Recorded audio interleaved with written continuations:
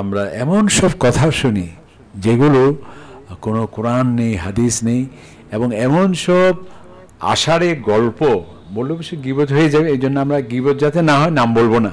একজন আল্লাহর ওলির কারামত বর্ণনা করছেন, তিনি একেবারে আফ্রিকায় চলে গেলেন। এটা আমরা মনে সবাই শুনছি, এগুলো তো আজকাল আসলে ম্যাগাজিন অনুষ্ঠান উনি বলছেন। মাঝে মধ্যে ও আইও উনি ভালো লাগে তো এগুলো। এবং এগুলো মাহফিলেরও খোরাক।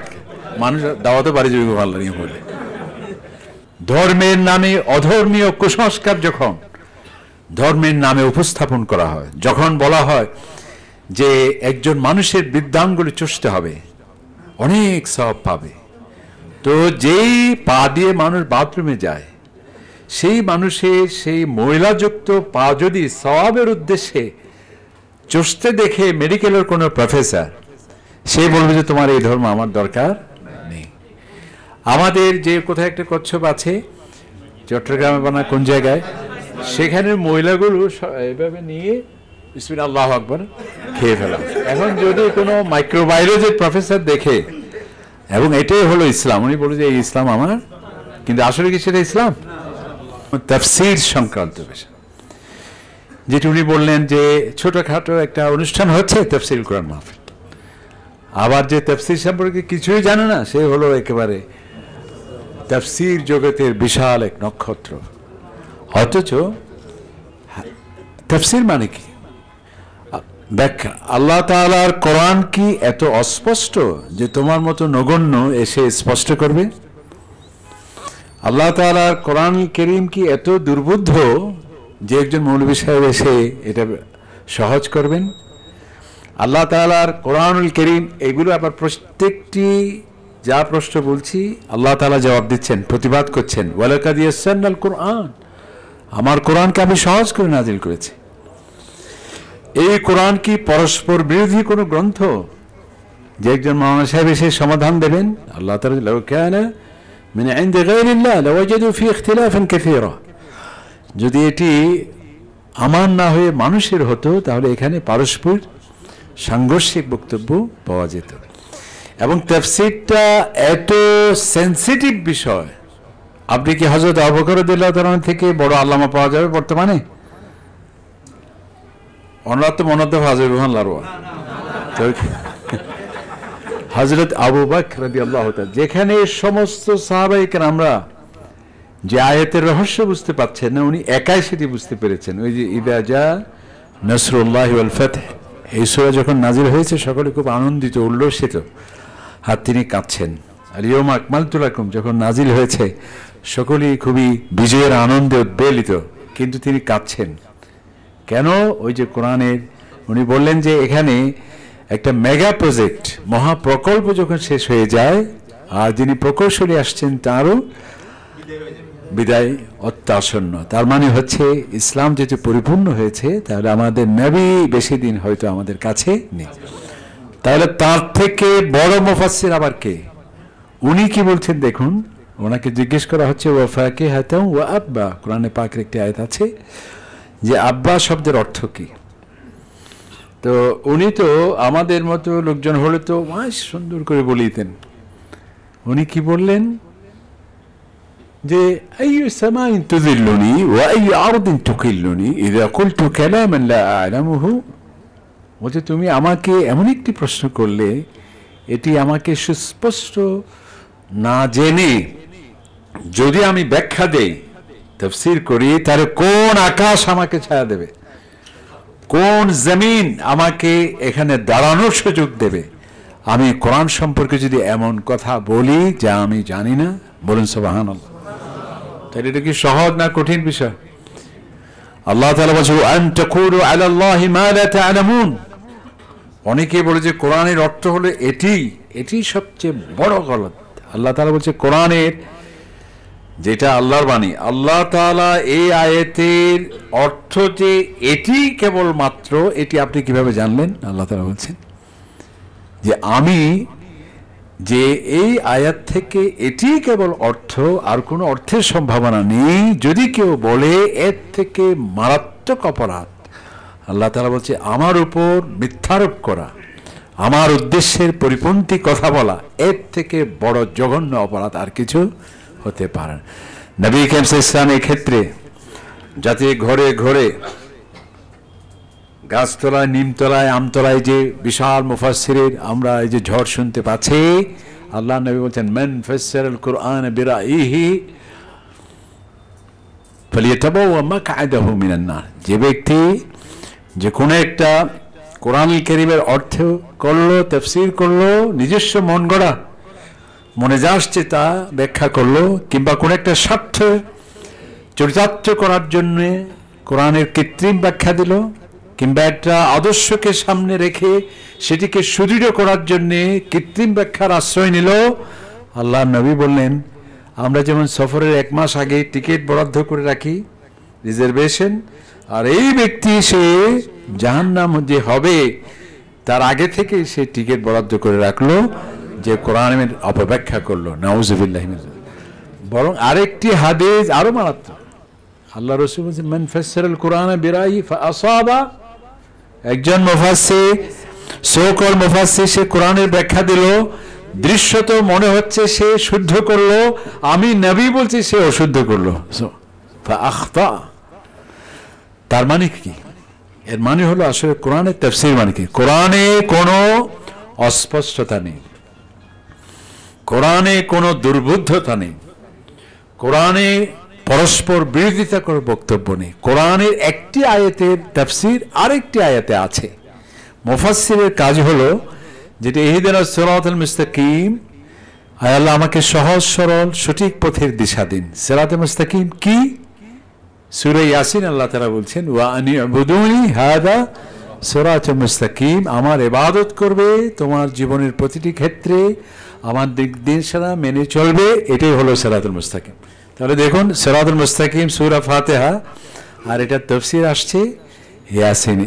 মুফাসির সাহেব এই আয়াতগুলোর মাধ্যমে, কোরআনকে কোরআনের মাধ্যমে, এবং কোরআনের তফসির করতে হবে কোরআনের মাধ্যমে যদি সেটি সম্ভব না হয়, আমার সেই দূরদর্শিতা না থাকে, বিচক্ষণতা না থাকে, তাহলে যার প্রতি কোরআন নাজিল হয়েছে, তার ব্যাখ্যার মাধ্যমে কোরআনের তফসির করতে হবে। আল্লাহ তারা বলছেন, আমি যে আপনাকে এই কিতাব নাজিল করেছি কেন? নিয়ে দেবেন।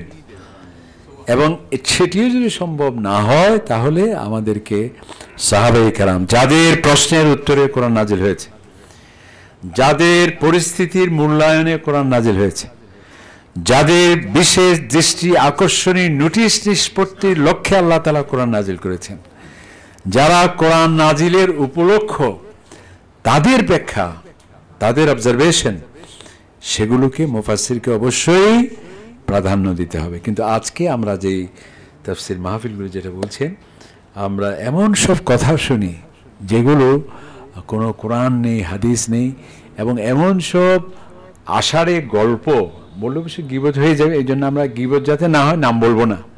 ওই যে ওনাকে বলছি গতকাল একজনে তফসির করছে, বড় মুফাসির কোরআন। নাম বলব না, নাম বললে কিন্তু গিবত হয়ে যাবে। আর নাম না বললে যাতে এই উপসর্গ, এগুলো যে সিমটম যদি আমাদের জানা থাকে, তাহলে prevention is better than cure যে আমরা কঠিন রোগে যাতে আক্রান্ত না হই। বা সেই ছোঁয়াছে রোগ থেকে যাতে আমরা দূরে থাকি, সেই জন্য আমাদের সাবধানতা অবলম্বন করতে হবে। সেটি যেমন তিনি একজন বলছেন, এটা বলতে হচ্ছে এই জন্যে যেহেতু হজরত মৌলানা বললেন, যে তিনি একজন একজন আল্লাহর ওলির কারামত বর্ণনা করছেন। তিনি একেবারে আফ্রিকায় চলে গেলেন। এটা আমরা মনে সবাই শুনছি। এগুলো তো আজকাল, আসলে ম্যাগাজিন অনুষ্ঠান উনি বলছেন। মাঝে মধ্যে ও আইও উনি ভালো লাগে তো এগুলো। এবং এগুলো মাহফিলেরও খোরাক। মানুষ দাওয়াতে বাড়ি যাবে ভালো নিয়ে বলে। ওখানে বলছে যে তিনি আচ্ছা এটা সবাই মুখস্থ। তিনি গেলেন, খাদেম সাহেব গিয়ে সেখানে পৌঁছলেন এবং তার সাথে কথা হলো কই না, হুজুর তুমি প্রতি সপ্তাহে আজকে বিশেষবার না? হ্যাঁ হ্যাঁ এই সময় তো প্রায় সময়। ওনার মিটিং চলছে আরও দুই ঘণ্টা আছে। ঠিক আছে, প্রায় এজেন্ডা শেষের পথে একটু অপেক্ষা করেন, উনি আসবেন। এখন আমার প্রশ্ন হচ্ছে, এই যে এখানে আজকে আমাদুল্লাহ সাহেবের মাহফিলে যারা আসছেন, সবাই এখানে শিক্ষিত মানুষ। বিজ্ঞান মনস্ক মানুষ। অনেক প্রফেসর এখানে আসছেন, অনেক ইঞ্জিনিয়ার আসছেন। তারা যদি মৌলানা সাহেবকে প্রশ্ন করে যে হুজুর না হয় বিশেষ কারামতে পৌঁছলেন, খাদেম সাহেব কীভাবে পৌঁছলেন? ও লাফাটা কম মারবে জায়গা না আর দ্বিতীয় প্রশ্ন হলো, উনি না হয় পৌঁছে গেলেন, আলহামদুলিল্লাহ পৌঁছতে পারে। কিন্তু উনি ওই খাদেমে, যেহেতু সে আফ্রিকায়, ওনার বাংলা কথা, আরও আবার সিটেঙ্গে হতা। যে, যারা বলে যে, তো আপনাদের, যাই হোক যাচ্ছে না, তাহলে উনি ওনার সেই চট্টগ্রামের আঞ্চলিক ভাষা কীভাবে সে বুঝতে পারল? আবার উনি কীভাবে সে আফ্রিকার ভাষা বুঝতে পারলেন? তাহলে এই যে আপনি সন্দেহ সৃষ্টি করলেন, ওয়াজের নামে এইসব কি বলছেন? আজকে যে মানুষ যে, এই যে বার্টন রাসেল বলেন, বা কালমার্কস বলেন, বা বড় বড় নাস্তিক, তাদেরকে আমরা দোষারোপ করছি না। নাস্তিকরা নাস্তিক হয় কেন?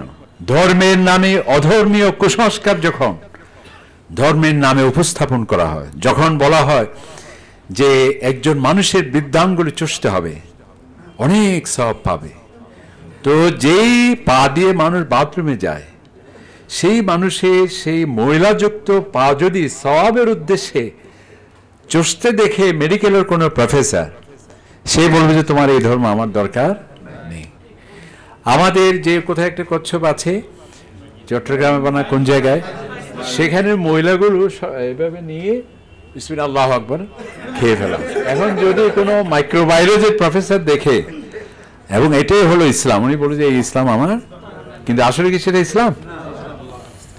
যেমন গ্রামে এটি আমরা নিজেরা দেখেছি, পরীক্ষার আগে বানর নিত, কিছু কিছু মানুষ বানর। এবং যারা পরীক্ষার্থী ছিল, বানরের পা ছুঁয়ে সালাম করত।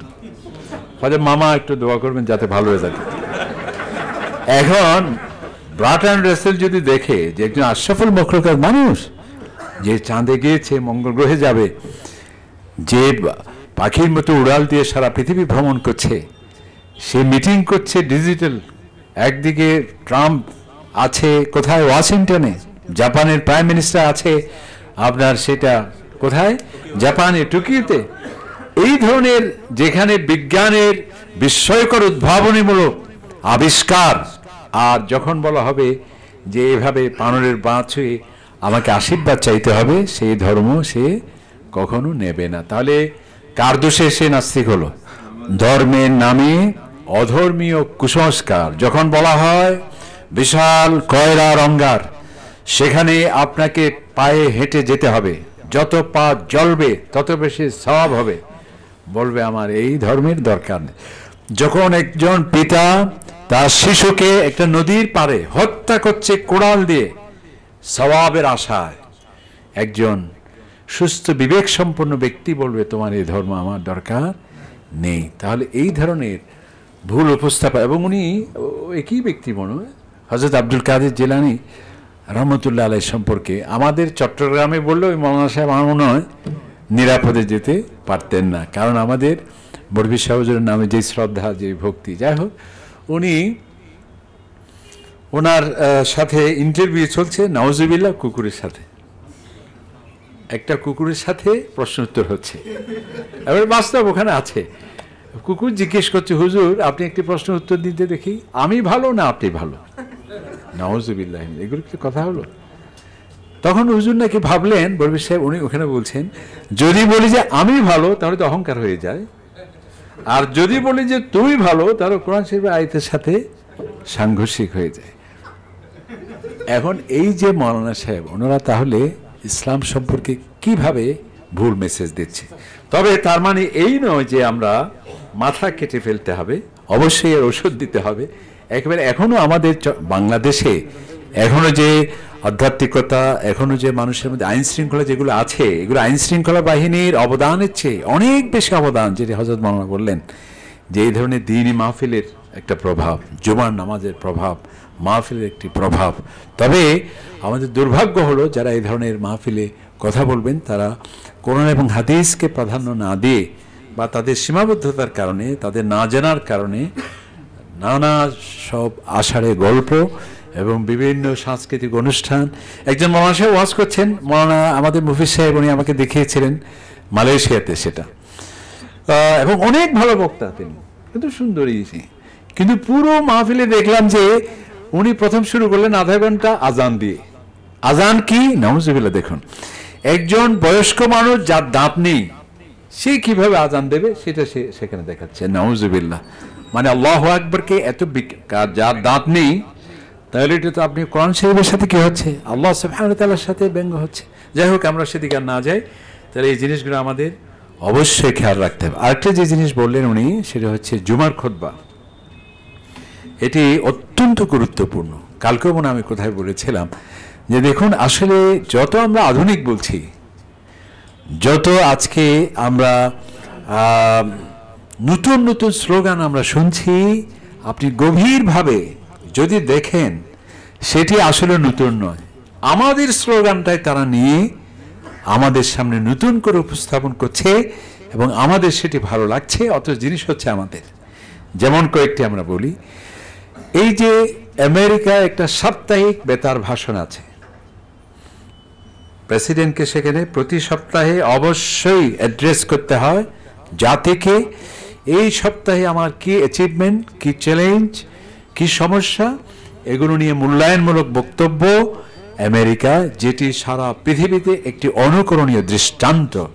কিন্তু আপনি কি একটু চিন্তা করেছেন? এটা থেকে নিয়েছে? এটা হলো আমার জুমার খোদবার কনসেপ্ট থেকে। এই কনসেপ্ট তারা নিয়েছেন। জুমার খোদবা মানে কি? আজকে তো আমরা জুমার খোদবা। এখনও আশ্চর্যের বিষয়। বা অত্যন্ত আপনাদের কাছে শুনলে অবাক মনে হলো এখনও সত্য।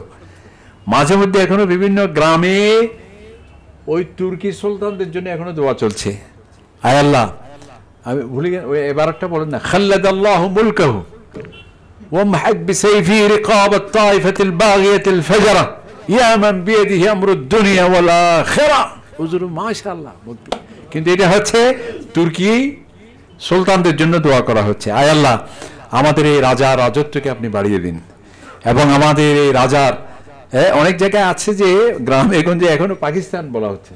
বাকি ওখানে পাকিস্তান লেখা আছে তো সে ধরতে পারছে না। যাই আল্লাহ আমাদের এই পাকিস্তানে আপনি কি দেন ওই খোদবার মধ্যে? তার মানে কি? এটাই হলো আমাদের দুর্ভাগ্য। আলহামদুলিল্লাহ আমাদের এই জিনিসগুলো বেশ পরিবর্তন আসছে।